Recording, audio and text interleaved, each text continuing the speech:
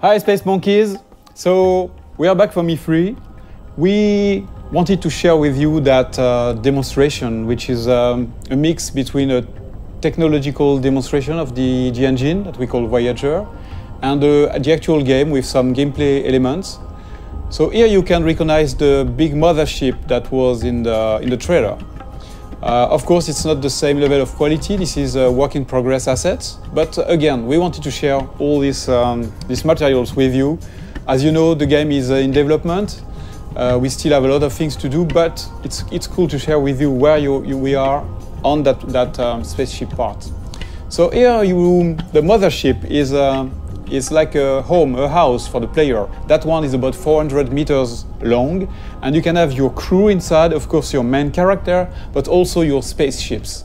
So if, if you start in the game without anything, and you get your first spaceships, even if then later you have a larger spaceship, you can keep the smaller one into the big mother, mothership. That's the same thing for the crew. If you start with one or two member in your crew, uh, then you can have them in your big mothership later.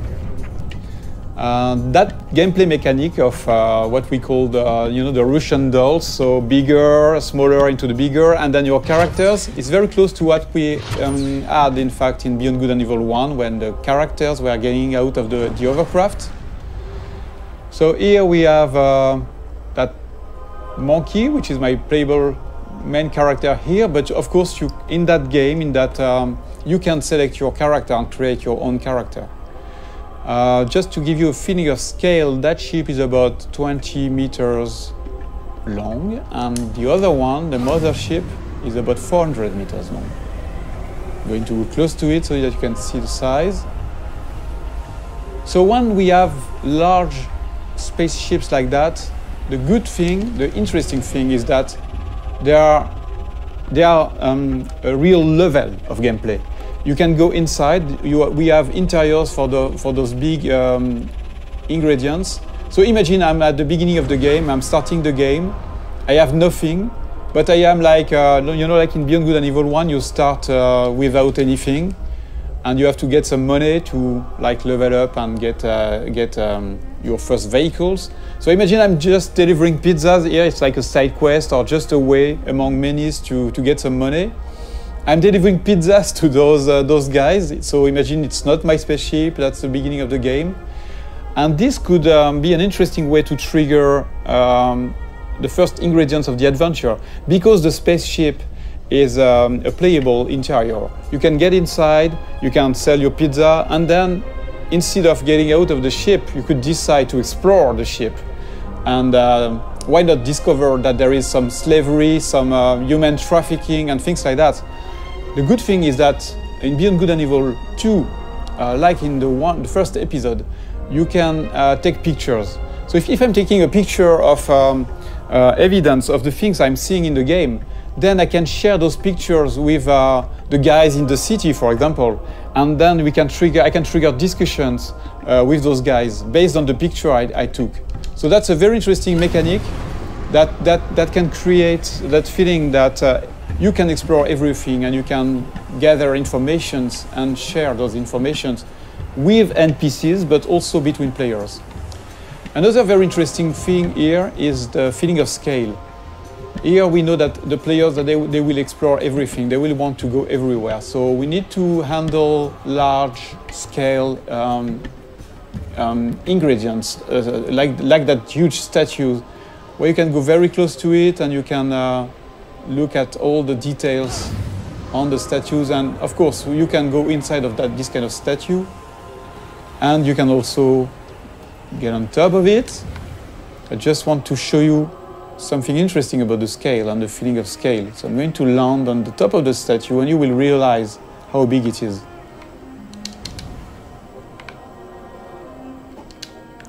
So here we have a wonderful vista. And I want to show you. So I'm going to go more in the developer edition mode where I can move the, the camera very easily. And you can really notice and understand the, the, the feeling of scale when you look at that little monkey on top of the big statue. This is just a part of the head of the statue and you're already very small. And it's very interesting to understand the scale of things. Here you see that the statue is really, really big. It's, the statue is about 700 meters high. And the very interesting thing, again, is that, in fact, that statue, which is big, is uh, just into a big city that is very small, in fact, compared to the continent here, the size of that uh, big island, and which is a small part of a big planet. So you realize that uh, you are just a little dot on that big planet, which is in fact just a small planet around a bigger one, which is a small dot in the big universe. So when we started that technology, we thought that we needed to uh, handle that feeling of scale and uh, in a realistic way. Before uh, going into details, uh, we wanted to make sure that the, the engine was uh, capable of handling this kind of thing. When you look at this sunset, it's not exactly a sunset uh, made by, made by artists. It's really the combinations of physical ingredients, you know, the light that is changing depending on the atmosphere. So you can see here the different colors.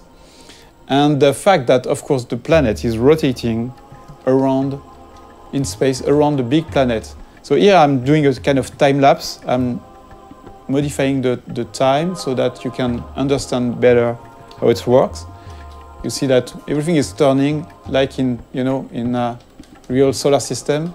So yes, I'm increasing the speed. You see the night here with the cities. So another important uh, thing is that you can, at any time, you can go everywhere. So if I'm going into another city, there is no loadings and things like that. Everything is seamless because it handles that big universe in a consistent way. There is no no sheet or things like that. You can really uh, appreciate the point of view wherever you are. It will be the same mechanics. So that was one of the big features uh, we wanted to make sure that we had before showing the game to the public, to everybody, so that we, we wanted to make sure that the technology was working and uh, this big ambitious game was uh, feasible. I'm going, I'm, go back, I'm going back to my spaceship. I want just to show you some gameplay ingredients. I'm going to change a little bit the time so that we have a bit more sun, yeah? So that spaceship is very, very nice. It, it's very close to the Beluga we had in Beyond Good and Evil 1. It can handle very large speed, but it's, it's also very easy to uh, do loopings and uh, trigger very fast movements. So it's a dogfighter. I can increase the speed. So this is a classic uh, plane speed we have on Earth.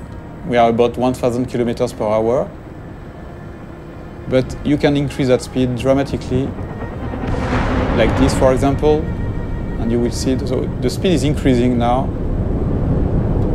you see that it's about 5,000 kilometers per hour. Let's go back in the city so that we can really understand the speed and I can increase the speed again.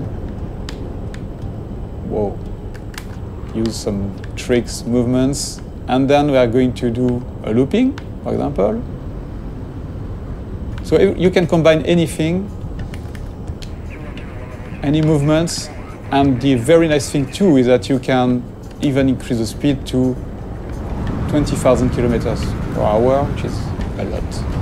I'm going to try, yeah, to drift like that. So at any time you can, you have the drifting mode, you have the, all these, these very interesting movements.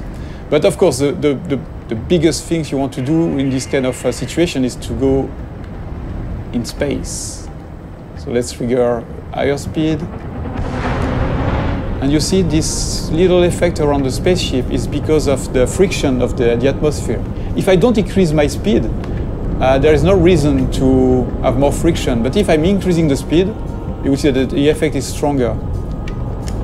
And same thing if I'm going very, very fast. So depending on the quantity of uh, atmosphere, you can have a stronger effect until you start burning. But you see, with those very high speed, you can really travel very, very far and very fast. Just changing the time of the simulation so that we can appreciate the wonderful view in space. So if I decide to go on this planet or the satellite, which is somewhere around there, I can, I can go there seamlessly. And the more uh, the further you are uh, of the planet, the, the, faster you can go because there's no more atmosphere, so no more friction. So here, here still have a little friction. But of course, you can go back onto the planet whenever you want.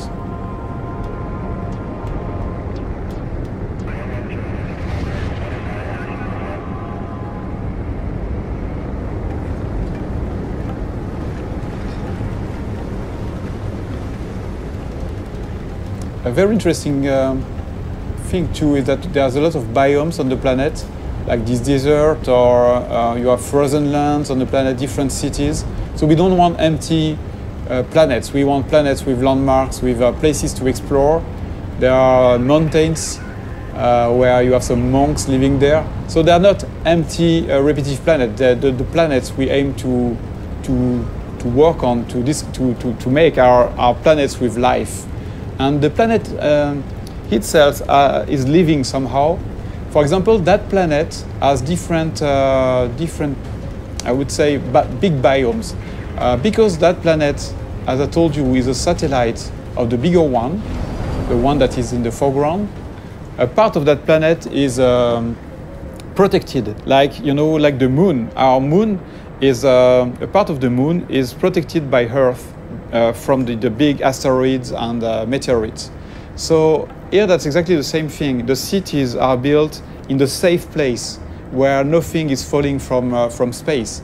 But I will show you a bit later the opposite part of that planet, where you can have real-time uh, giant meteorites, asteroids falling and modifying the, the planet's ground.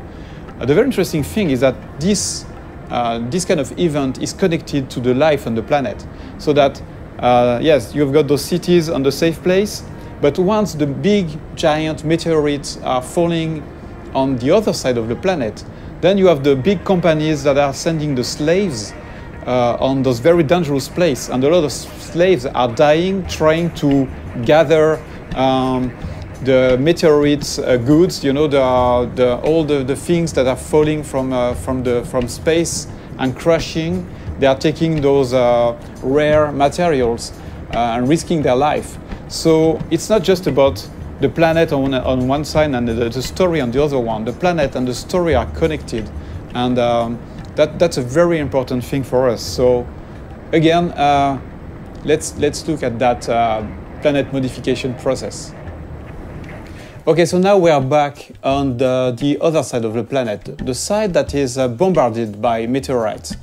Here, uh, we just want to showcase the ability that we have in the engine to modify the whole planet in real time. So here, for example, imagine that you're flying over that um, region. You can have a huge meteorite falling in front of you, uh, and you will have all these, there's one incredible effects uh, on the planet, but also on the other spaceships. So that's a very important feature for Beyond Good and Evil. We want interactivity to be the heart of the whole experience, not just with character, not just with spaceships, but also with a big, huge planet. So thank you for watching that, uh, that video. This is uh, our first Space Monkey um, debrief.